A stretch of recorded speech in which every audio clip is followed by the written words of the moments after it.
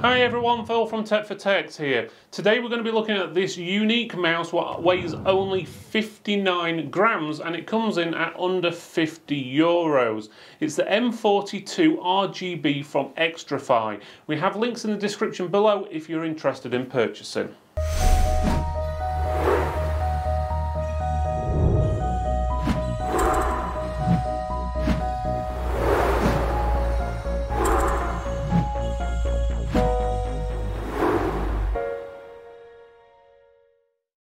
Before we go on to the main video, if you would do us a favour, click that like button, subscribe, click the bell as well. That way you'll get notifications of new videos and live streams we do.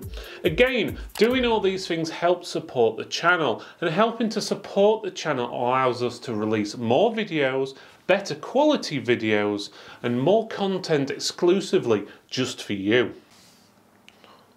Okay, so as you can see, we've got the Xtrfy mouse. It's the M42 RGB Ultra Light Gaming Mouse. Designed in Sweden, RGB LED. It's got the Xtrfy EZ cord, so I'm presuming that means it's a unique cord for whatever reason, but we'll look into that in a few minutes. And you've got adjustable size. So you can actually take the top part off or the back part of the top and replace it with another piece and it allows you to change the shape of the mouse slightly depending on if you prefer the standard sort of grip or you prefer claw grip depending on obviously your preferences. As you can see on the side of the box, it just shows you the mouse itself with RGB lighting effects on. It's got a hangy hook on the top on this side it's got some writing basically saying ultra lightweight, it's a adjustable symmetrical shape and pro grade components. So pretty standard stuff. Stuff at the bottom you got obviously serial numbers and stuff like that but nothing of really any concern to most people. On the back of the box it shows you all the dimensions of the mouse which is pretty good. You don't usually see this on most mice so you can actually see how tall it is, how wide certain points of it are. That's pretty good in all honesty. It's a lot better than a lot of mice you get. And then you've got a bit more information about the product on the back than basically selling the product to you. Okay, let's have a quick look inside the product itself, or inside the box should we say and see what we've got. So that's quite an attractive design for the inside of a box. The inside front has got a nice bit of foam to protect the mouse in transit, which is always good. Uh, not that you're probably going to use it again once it's been done. And then inside you've got the mouse. We'll look a bit more at that in a minute. You do have two keycaps you can use on here. If I can get them out, there we go. Looks like your standard cherry design keycaps.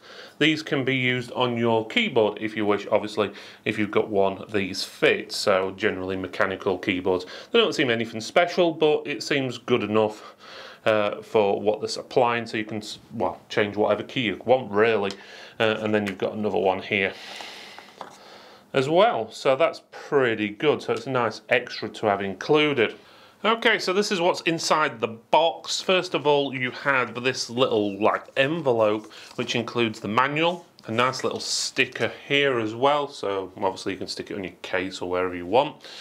As well as some extra feet for the actual laptop, so glide pads or whatever you want to call them, which is always nice to come with some extras because they can get worn out and peel off depending on how you use it. Obviously you've seen the box, which is there, and then the extra couple of keycaps you can use on your keyboard, which is an added bonus. The manual itself, if we'll have a quick look at it, so on this side here, it shows you how to adjust the RGB speed and different effects, as well as the button on the bottom, pressing it, what it actually does, and so forth, which is good. And then on this side, it shows you even more options as well. So you've got a lot of options there to change the RGB effects without having to go into any software or anything special to adjust anything. And that leaves us with the mouse itself and the extra back. And that really depends on if you prefer palm grip or claw grip, depending on how you use a mouse. If you're not sure, palm grip is where you let the back of the mouse rest into your hand claw grip is where you have your hand sort of floating above the mouse. So it really depends on what you prefer. And just a side on view, that sort of claw grip, palm grip is more like that. And depending on the back you use, while there doesn't look huge difference, it just adjusts the back slightly so it will be more comfortable depending on which version you prefer to use. So a lot of mice you go out and buy, it's either palm grip or claw grip design. Well, this is both in one, so you can have it either way. Even better, if there's two people who use the same um, computer, you don't have to use two separate mice. So if one prefers palm, one prefers claw, then you can adjust or just take the back off and replace it with a with the other one. Uh, on top of that, these backs are interchangeable between all the other models they do have available. I'll show a picture just above with all the different colours, um, but there's quite a few of them out there, but you can interchange the back. So if you did for any reason have two of the mice, one let's just say white and one black, you could take the back off of the white one and put it on the black one and vice versa. But obviously that's totally up to you.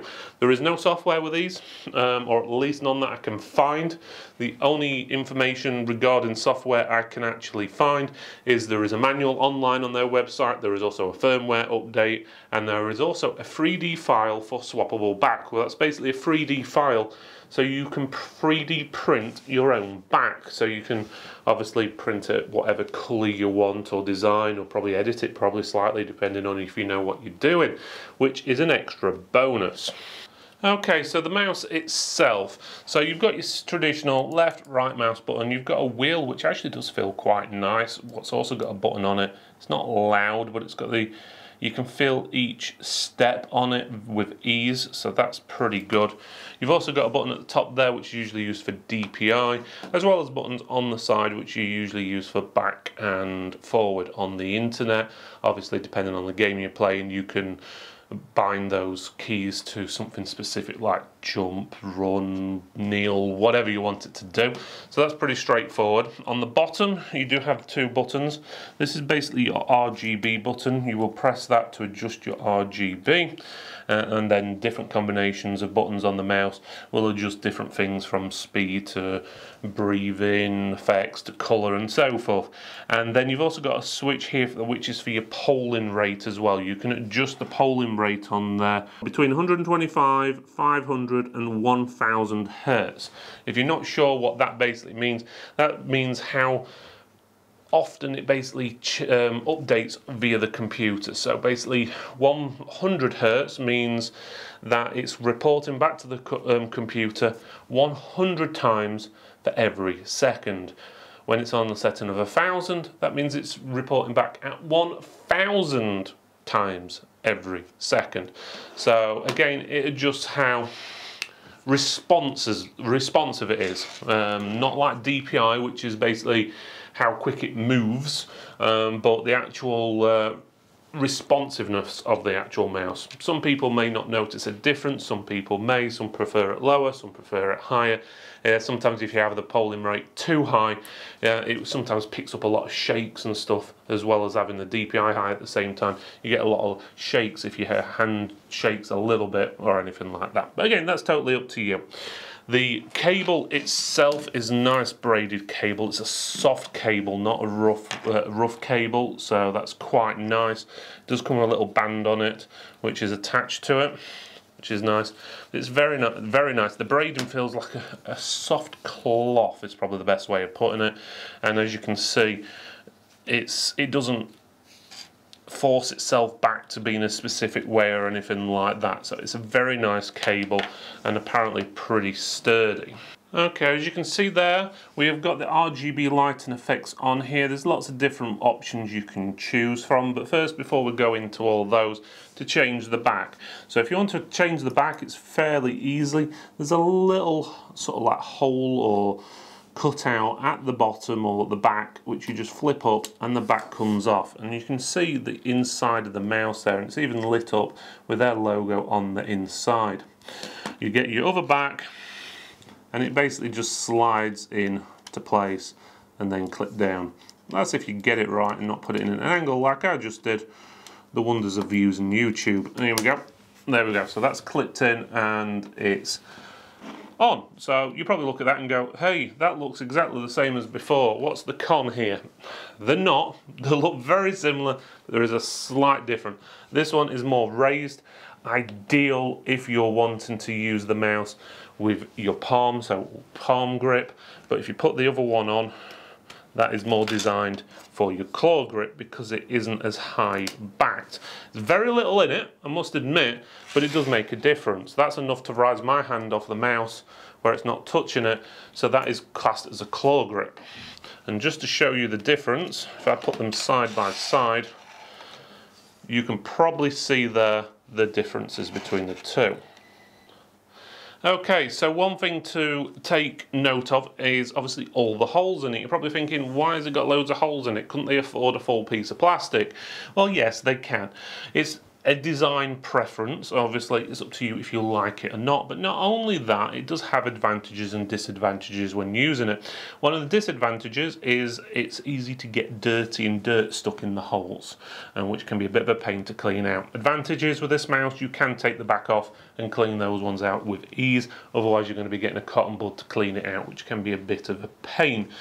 Also, obviously, with the holes, it lets you see all the inside, so you can see the lighting effects and stuff like that. Which, in all honesty, when you've got your hand on the mouse, you're not going to see much of it anyway, because you're going to be staring at the screen. So, it's only, obviously, for looks when you're not holding it. Okay. This cheese grater effect, as they call it, um, does have other advantages. One of the main ones is it does help with a grip. So, Obviously all the little holes help you grip with your hand onto the mouse, especially onto the side where you're going to be gripping it with your thumb. It does help grip, so it saves them having to put like rubber bits on the side for you to actually grip on, which is another bonus as well. One of the things though is obviously when you add lots of holes into a device, it's going to make it really weak. Um, as in, it's going to break easily. But this is actually quite sturdy. I can put as pretty much as much pressure I want on the sides and it's not going to break. And just to give you an idea, that would normally break a lot of mouses which have got um, this sort of effect on because the plastic isn't very strong. But on this it is actually pretty good. Okay, so I've turned a lot of the lights off in the studio so you can see the RGB effects on here a bit better. As you can see, there's sort of like a, uh, a U shape what goes around the front of the mouse and down the side where the buttons are there and you can sort of see RGB effects from the inside as well and where their logo is which you can't really make out is actually their logo unless you look at it at a certain angle or even take the back off. But the actual effects are quite effective. They're quite bright and vivid so you shouldn't have much in the way of issues there. To change the effects you basically hold down the RGB button on the bottom and then there's lots of different buttons you can choose to change different effects but I'm going to use the DPI button to change different effects. And as you can see there it changes the effect so that's off. Then you've got sort of like a pulsating. It looks like that's off as well.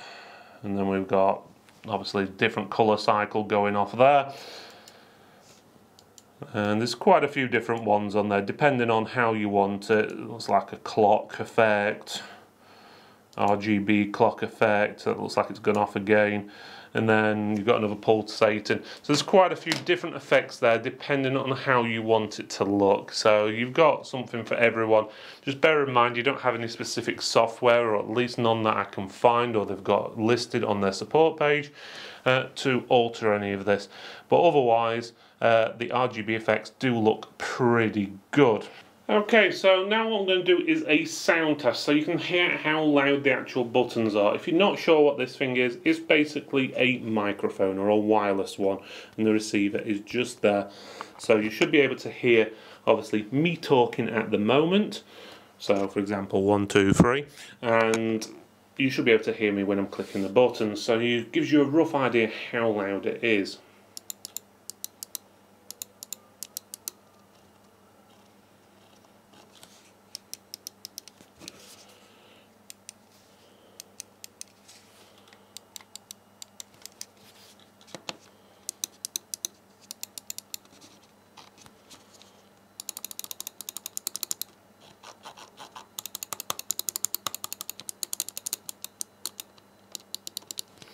So that's the end of the sound test. To me, it's fairly okay. I wouldn't say it's the quietest mouse in the world, but it's very acceptable, especially for a durable gaming mouse. So I personally, I don't see any issues with that, and I don't foresee it driving anyone crazy because of too many clicking noises. Thank you for watching this video everyone, it's really appreciated you made it all the way to the end. Please make sure you subscribe, like, comment and even click that bell so you get notifications of new videos and live streams. It does help support the channel and supporting the channel basically means that we can release more content for you and also better quality content going forward. Thanks again for watching and I'll see you next time.